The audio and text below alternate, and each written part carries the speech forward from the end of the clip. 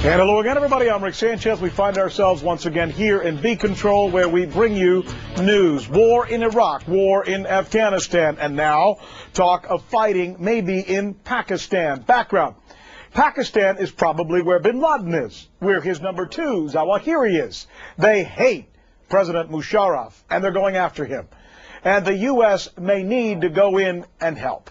The Pentagon's top officer was put on the spot about a possible Pakistan deployment, not by a congressman, not by a reporter, but by somebody with a much stronger personal investment in all of this, an army wife. Listen to the chairman of the Joint Chiefs answer the question. Here's her question. Will my husband go to war in Pakistan?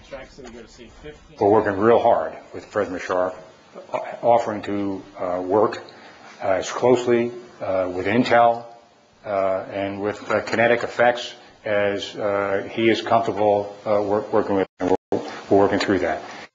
Kinetic effects. We checked. Kinetic could very well mean using artillery to fire into Pakistan. Boots on the ground? No. That's what the general says. Absolutely not. Certainly not at this point. But it doesn't rule out something else.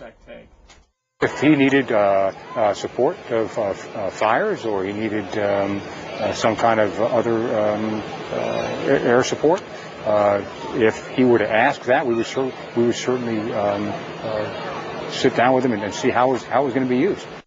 All right, let me try and set the record for you because I think it's important sometimes to get a geographic perspective on this. Roger, go ahead. Put up uh, the shot that we're talking about here. Now, these are the three guys that we're talking about. Musharraf, you see him on the right of your screen. Zawahiri, you see him in the middle. Bin Laden, you see him on the left. Now let's go ahead to the map and show you where these guys could possibly be. This is a Google Earth, and we're going to go in right into the area that we're talking about. You see the line there that separates Afghanistan with uh, that part of Pakistan? Well, Waziristan, that strange word that you see there with the north and south, that's that mountainous region where supposedly both bin Laden and Zawahiri possibly are. That's also the area the United States has never gone into, or at least as far as we know, fired into. But you see the part there where Afghanistan is. That's where cities like Jalalabad are. That's where Bagram Air Force Base is. That is where quite possibly we are learning today from experts that we have spoken to, the U.S. could use launches to possibly use uh, Hellfire missiles or long-range missiles, possibly use drones to go into that area and either go after al-Qaeda or maybe even go after bin Laden and Zawahiri themselves. And somehow try and bail out President Musharraf of Pakistan. So what does the White House say about the potential for any military action in Pakistan? Is it even on the table at this point? Definitely is what we're hearing. You're CNN's White House correspondent, Henry. President's top aides say U.S. military action in Pakistan's tribal areas is on the table to target al-Qaeda and the Taliban no question that we will use any instrument at our, at our disposal to deal with the problem of Osama bin Laden and Zawahiri and al-Qaeda. The White House is on the defensive after a new government report declared Pakistan has become a safe haven for al-Qaeda. After putting massive resources into a war in Iraq, we have lost sight of the goal of capturing Osama bin Laden and closing down al-Qaeda. Mr. Bush is walking a tightrope. He's been praising Pakistan, even though a deal that President Pervez Musharraf cut last year with tribal leaders has helped Al Qaeda regain momentum. Musharraf is a strong ally in the war against these extremists. Now, Pakistani leaders are irked by the talk of U.S. military strikes within its borders. Pakistan army can do the job much better and the result will be that there'll be far, far less collateral damage. I understand their anger, but of course, well, the president made perfectly clear that job number one is protecting the American people. There are no tools off the table and we use all our instruments of national power to be effective. The tensions come with Pakistan already in flames as militants retaliate for Musharraf ordering an attack on the pro-Taliban Red Mosque.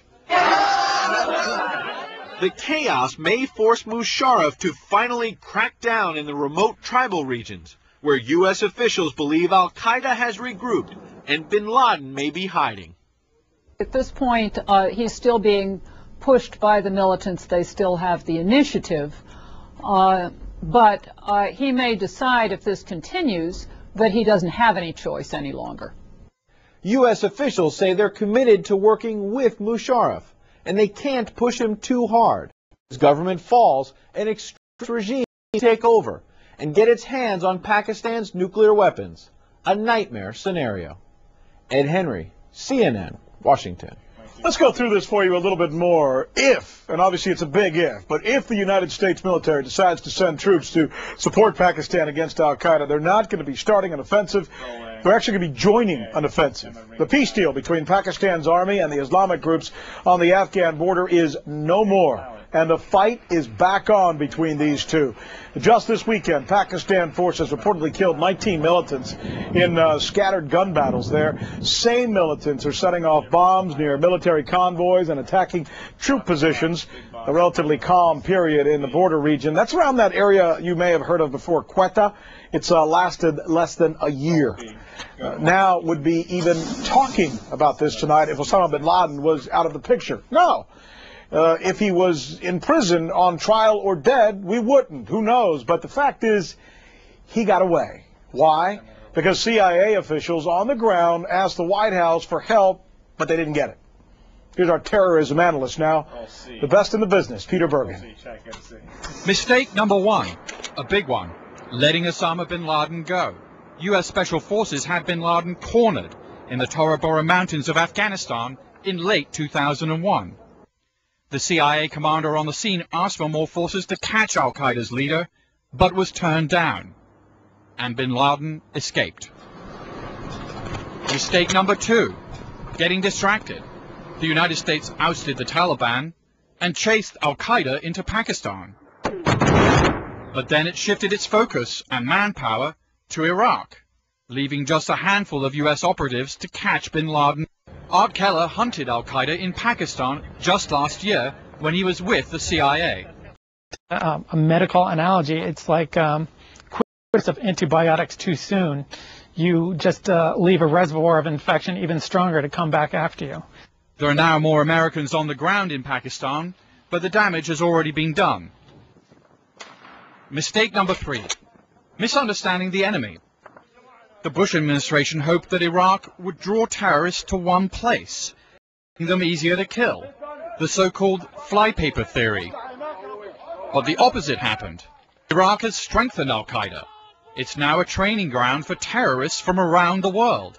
People are going there to learn the tactics and then come back. Certain irony. Yeah, it is. It uh, seems like the reverse of the way the war on terror was supposed to work. Take suicide bombings, for example. Once unheard of in Afghanistan, now they happen at least once a week. I met a failed suicide bomber in Kabul who survived when his vest didn't blow up. Do you still hope to be a shaheed? Somebody, somebody who martyrs himself when you get out of here? Ah, of course. That's mistake number four. The so-called Iraq effect. Letting Al-Qaeda spread its ideas and methods around the world. Thank you. CNN terrorism analyst